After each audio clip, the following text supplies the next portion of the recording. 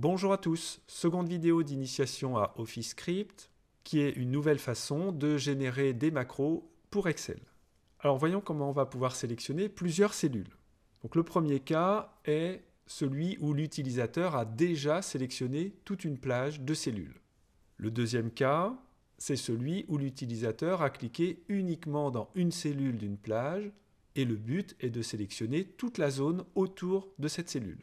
Ensuite, nous allons voir comment parcourir une à une les cellules de cette plage ou comment parcourir toutes les valeurs qu'il y a dans la plage. On pourra obtenir différentes propriétés, par exemple les dimensions de la plage, combien y a-t-il de lignes, de colonnes. Et on va voir que lorsqu'on récupère les données qu'il y a dans une plage, on obtient ce que l'on appelle un tableau qui aura deux dimensions puisqu'on a des lignes et des colonnes. Alors partons de l'exemple d'une plage qui a déjà été sélectionnée par un utilisateur. On a notre fonction principale avec toujours le classeur workbook. On va utiliser la méthode qui permet de sélectionner la plage. Donc notre sélection, ça va être dans le classeur de récupérer la plage qui a été sélectionnée par l'utilisateur. Une fois que l'on a cette plage, on va pouvoir récupérer toutes les valeurs en une seule fois. Pour ça, on n'utilise pas getValue, mais value avec un S. N'oubliez pas à chaque fois les parenthèses, et ensuite on va lui demander à afficher dans la console ces valeurs. Donc sélection, c'est une plage qui correspond à la plage qui a été sélectionnée par l'utilisateur, et valeur va être un tableau qui va contenir toutes les valeurs de la sélection. Alors voici ce que ça donne si l'utilisateur a par exemple sélectionné cette plage. On va obtenir un tableau, qui se dit array, avec 5 éléments, ce qui paraît logique puisqu'on a 5 cellules, mais attention, chacun de ces 5 éléments est lui-même un tableau qui a un seul élément. on voit que le premier élément du tableau, qui est le numéro 0. On commence toujours à 0 en JavaScript ou en TypeScript. Donc le premier élément, le numéro 0, c'est un tableau qui contient un seul élément qui est donc à la position 0 et son contenu c'est janvier. De la même façon, la deuxième ligne, donc la numéro 1, c'est un tableau avec un élément et le premier élément c'est février. Dit autrement, on a un tableau à deux dimensions, c'est-à-dire un tableau qui contient des tableaux. Alors pour mieux comprendre, je vais aller dans Automatisation, Nouveau script. Je vais supprimer le script proposé et mettre celui que je vous ai présenté. On va taper janvier, j'étire vers le bas. Je vais taper lundi, j'étire par exemple jusqu'ici. Et je vais taper 12 heures jusqu'ici je sélectionne une plage, donc on a bien un certain nombre de lignes et un certain nombre de colonnes. Et lorsque je vais exécuter le script, donc il m'affiche 6 puisqu'il y a 6 lignes, et pour chacune des 6 lignes, on aura un tableau avec 3 éléments, puisqu'il y a 3 colonnes. Donc on peut lire 6 lignes, 3 colonnes. Si on veut le détail, ligne numéro 0, c'est-à-dire la première ligne, on a janvier, lundi est 0,5. Il a transformé le midi en 0,5. Deuxième ligne, février, mardi, et la conversion de l'heure en nombre. Et lorsque la cellule est vide, on obtient une chaîne vide. Donc on a ici la méthode qui permet de récupérer la plage qui a déjà été sélectionnée par l'utilisateur. Alors maintenant, si on veut récupérer la zone autour de la cellule active, qu'on appelle la zone active ou la zone en cours. Par exemple, l'utilisateur a cliqué sur février et on veut récupérer les 9 cellules qui sont là. On va partir de la cellule active, donc on récupère la plage correspondant à la cellule active, et la méthode qui permet d'obtenir la zone qui est en bleu est celle-ci, donc la région autour de la cellule active. Je pars de la cellule active et je prends toute la région qui est autour. Ça me donne une nouvelle plage que je vais appeler sélection. Ensuite, on peut récupérer les valeurs, les afficher dans la console et même afficher des valeurs particulières. Par exemple, que va afficher valeur 2, 1 Donc get values va me récupérer toutes les valeurs qu'il y a dans cette plage. Donc la première valeur est ici. Donc je suis en 0, 0, ligne 0, colonne 0. Donc si je veux 2, 1, c'est que je suis à la ligne 1, 2, donc sur cette ligne-là, et 1, c'est-à-dire à cette colonne-là. Donc il doit me renvoyer mercredi. En lançant ce programme, pour valeur, on va obtenir un tableau avec trois lignes et trois colonnes. Donc on a bien les trois lignes qui sont ici, et chacune des lignes est un tableau avec trois éléments. On a bien un élément, deux éléments, trois éléments. Par exemple, pour la première ligne, janvier, lundi 2. Et ensuite, il a bien affiché mercredi. Alors maintenant, voyons comment parcourir les cellules d'une plage. On va le faire par rapport à la position de la cellule qui est en haut à gauche de la sélection. Donc par exemple, si notre plage, c'est l'ensemble de ces neuf cellules, on va pouvoir parcourir les différentes cellules en utilisant la position de la cellule qui est en haut à gauche de la sélection. Donc la sélection, c'est la plage qu'a sélectionné l'utilisateur. Et à partir de là, on va pouvoir récupérer la cellule qui est à une certaine position. Donc si je mets 2 et 1, ça veut dire que je vais me décaler de deux lignes et d'une colonne. Donc je cherche à récupérer ce qu'il y a ici. Donc toute cette partie-là correspond à la cellule qui est ici, et je récupère ensuite la valeur qui est à l'intérieur de cette cellule. Et j'appelle cette valeur valeur. On demande ensuite à afficher valeur. Et on obtiendra bien mercredi. Alors pour voir concrètement comment on parcourt toutes les cellules d'une plage et pas seulement une position particulière, on va faire cet exercice où l'utilisateur va sélectionner une plage et on va écrire dans chaque cellule de cette plage le code couleur de remplissage de la cellule. Par exemple, si on a sélectionné cette plage où il y a du rouge, du orange, du bleu, du blanc, on veut obtenir dans cette même plage les différents codes couleurs.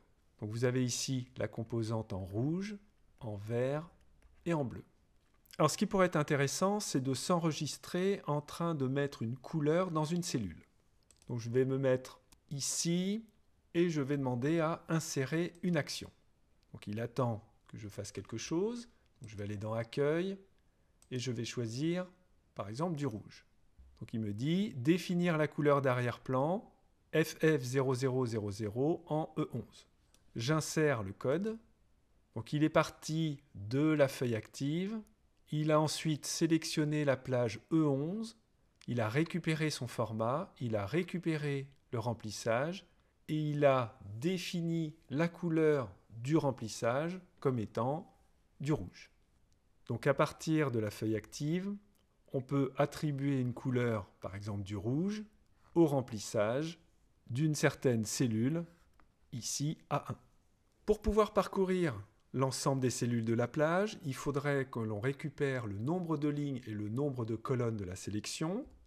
Ensuite, pour chacune des lignes et pour chacune des colonnes de cette sélection, récupérer la couleur de la cellule et dans la foulée, écrire ce code couleur dans la cellule. Donc il y a plusieurs façons de faire ce que l'on appelle des boucles.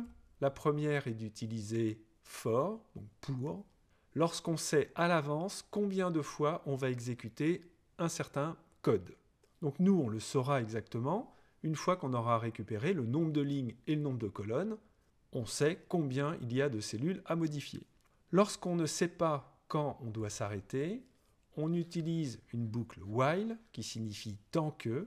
Donc on va exécuter un bloc de code tant qu'une condition est vraie. Par exemple, tant que la valeur est plus petite que 1000, continuez à exécuter le code. Petite variante qu'on appelle le do while qui va être donc faire jusqu'à temps que. Donc la différence entre les deux, c'est qu'ici, on va exécuter le code au moins une fois. Donc on va lui dire faire quelque chose tant que, et ensuite on va tester est-ce que par exemple le nombre est plus petit que 100. Alors qu'ici, ça serait tant que n est plus petit que 100, donc ça ça peut être faux dès le départ, et donc il n'exécutera jamais le code, alors qu'ici, il va déjà exécuter une fois le code, et ensuite il va faire le test. Alors dans cette vidéo, je vais utiliser uniquement la boucle pour. Alors voici plus précisément comment on l'utilise. Donc vous tapez for, vous ouvrez une parenthèse, et ensuite il y aura trois blocs. La partie initialisation, point virgule, une condition, point virgule, et l'incrémentation. Comment on passe à l'élément suivant. Une accolade, et ensuite le bloc à exécuter. Alors par exemple, pour i égale à 0, donc on est bien dans la partie initialisation, je mets 0 dans i, je n'oublie pas d'écrire let, donc soit i égale à 0, on continue tant que i est plus petit que 5, et à chaque tour, i doit augmenter de 1. Donc soit vous écrivez i++, ça permet d'incrémenter i de 1, ou vous pouvez écrire i plus égale donc i va être égal à 0. Est-ce que i est plus petit que 5 Oui. Donc il va exécuter le code qui est là, afficher dans la console i. Ensuite, i va augmenter de 1. Donc i va passer à 1. Est-ce qu'il est plus petit que 5 Oui, donc il va afficher 1, etc. Jusqu'au moment où i sera égal à 5, cette condition n'est plus vérifiée, donc il va sortir de la boucle. Si tout va bien, on devrait obtenir les chiffres de 0 à 4. Alors on va tester, donc je supprime tout sauf la fonction principale. Là, il me souligne console log. Pourquoi? Parce qu'il voit qu'on fait appel à console log à l'intérieur d'une boucle. Donc il a peur que l'on affiche trop de choses dans la console. Donc c'est pas souligné en rouge, c'est souligné en marron. ce n'est pas une vraie erreur. Je fais exécuter et je vois bien 0, 1, 2, 3, 4. Donc pour notre programme, il faudra que l'on parcourt chaque ligne et pour chaque ligne que l'on parcourt chaque colonne. Donc ça veut dire qu'on a deux boucles à écrire. Une pour les lignes, une pour les colonnes. Alors c'est parti. Donc on a notre programme principal. La sélection correspond à la sélection faite par l'utilisateur. Pour compter le nombre de lignes, donc ligne se dit row en anglais, et pour compter le nombre de colonnes, vous avez le mot colonne en anglais également. Donc ces deux informations qui vont me donner le nombre de lignes, le nombre de colonnes de la sélection, je les mémorise dans deux variables, nombre de lignes, nombre de colonnes. Alors repérez bien que pour retrouver le nom de la méthode qui donne le nombre de lignes, il suffit de taper row, donc ligne, et vous allez avoir get row count, donc pour compter le nombre de lignes. Donc ça c'est très pratique inutile d'apprendre toute la commande par cœur, il suffit d'avoir certains mots-clés. De la même façon, nombre de colonnes égale SE, j'ai sélection, donc je fais tabulation, point, COL, et je vais avoir compté le nombre de colonnes. Alors on arrive au cœur de notre programme où on doit parcourir chacune des lignes. Pour ça, on va utiliser une première boucle pour, et je vais appeler LIG le numéro de la ligne. Donc soit LIG qu'on va initialiser à 0, donc je suis à la ligne 0, c'est-à-dire la première ligne, et tant que LIG est plus petit que le nombre de lignes, on augmentera le nombre de lignes de 1. Donc on passera à la ligne suivante. Maintenant, une fois que je suis sur une ligne, donc la ligne 0 après la ligne 1, il faut que je parcours les colonnes.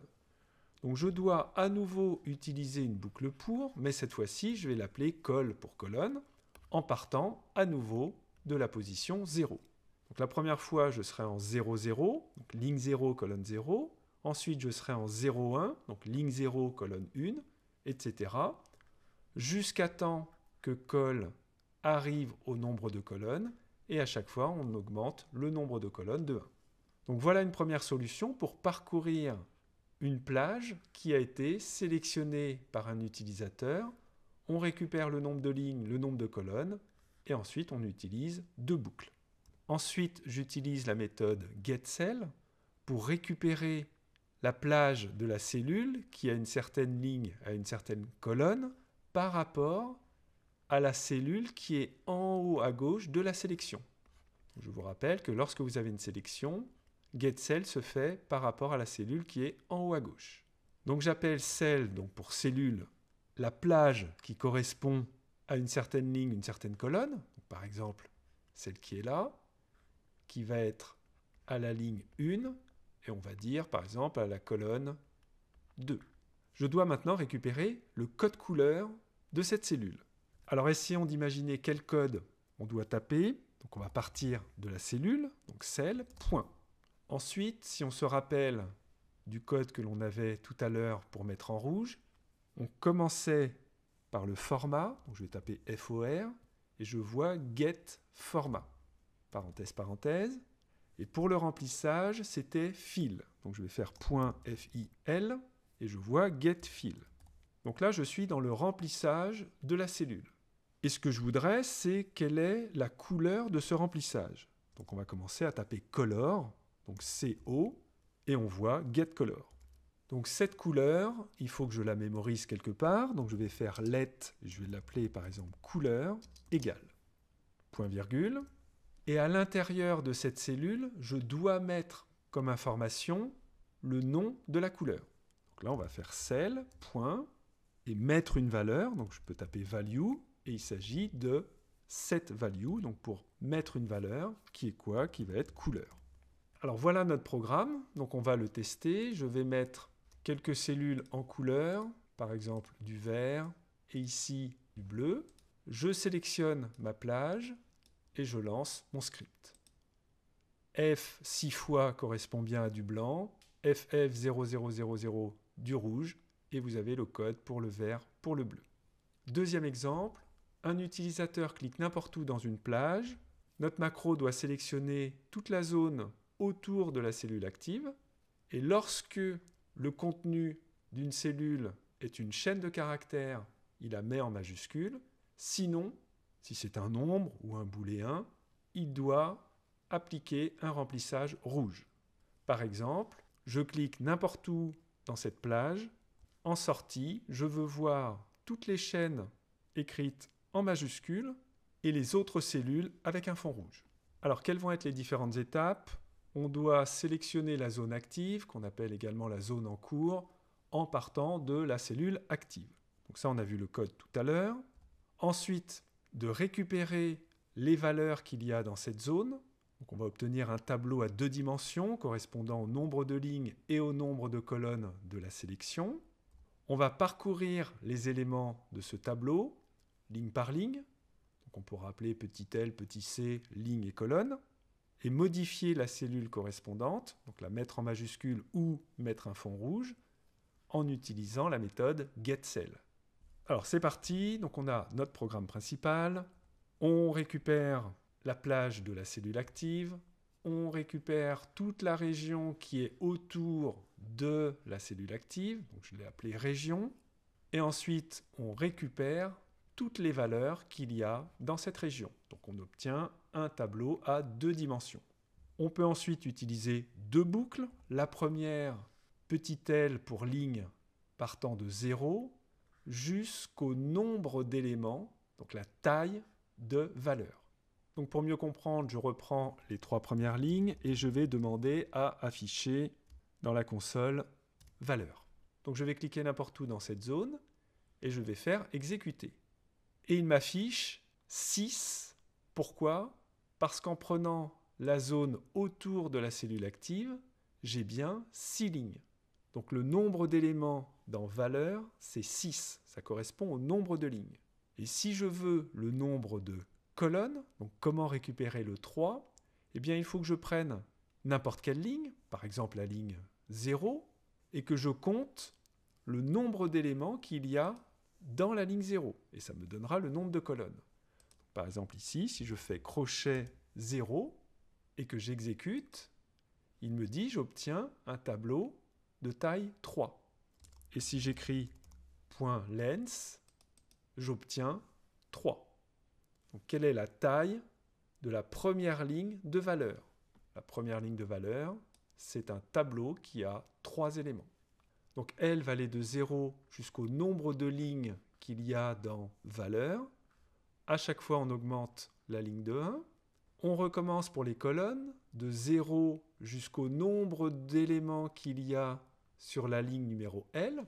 Au lieu de L, ici, j'aurais pu mettre 0, puisque toutes les lignes ont le même nombre d'éléments. C va augmenter de 1 à chaque fois. Ensuite, dans valeur, je regarde à la ligne L, donc crochet L, quel est l'élément à la colonne C, donc crochet C. Cette valeur, je la mémorise dans une variable que j'appelle V, et suivant le type de cette variable, si c'est une chaîne, on met en majuscule, sinon, on met un fond rouge. Donc on peut faire le test si le type de V, c'est une chaîne de caractères, et ensuite, sinon.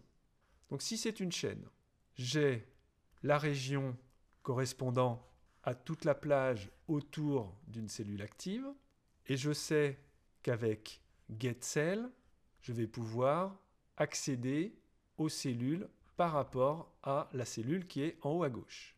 Donc comme j'ai parcouru les lignes et les colonnes, eh bien il suffit de mettre à nouveau petit l et petit c, donc ligne 0, ligne 1, ligne 2, etc. Et colonne 0, colonne 1, etc. Donc je pars de la cellule qui est en haut à gauche de région, je me décale d'un certain nombre de lignes, d'un certain nombre de colonnes, et je vais mettre la valeur qui est bah, V, donc le contenu qu'il y avait à l'origine, sauf que je le transforme en majuscule.